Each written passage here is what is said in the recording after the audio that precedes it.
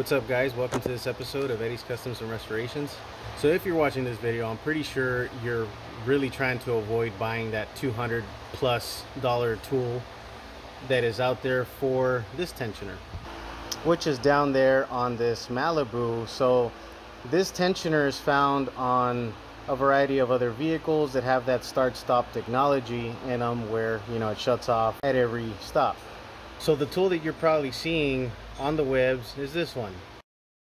Well, I made this tool for free because I had these things laying around. So I cut this strip at approximately 14 inches long and then the width of it is approximately an inch wide and then you need to find yourself a nut and bolt that are approximately well the nut that is approximately uh, an inch wide preferably a little bit wider than one inch but one inch will do. Then what you're going to do is you're going to drill a hole at two ends of your strip and that is where you're going to weld directly to your nut. And then you can run some other beads right here along the sides just to fully secure that little strip of metal all the way across.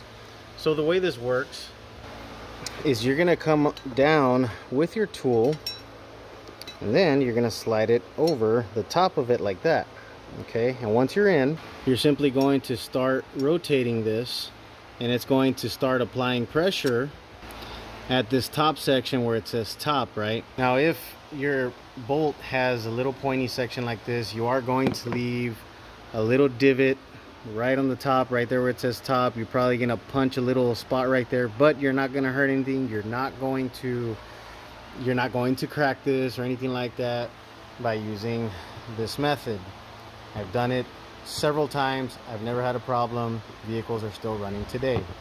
Now, just to verify the measurements, so got my tape measure right here. We are at approximately five inches wide at the opening of the tool that you need to make. So that tells you the distance that you need to have this at before you do your welding. And then of course you need to be able to back out your screw a little bit so that you can put it inside and you can actually slide it in with ease. Side dimension, as I said, about an inch. The width here.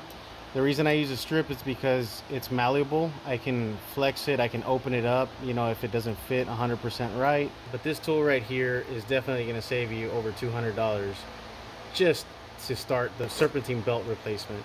Well, I hope you found this video to be helpful. You did, please like, share, or subscribe, whichever one. It helps me out, helps my channel grow. Till next time, guys, be safe.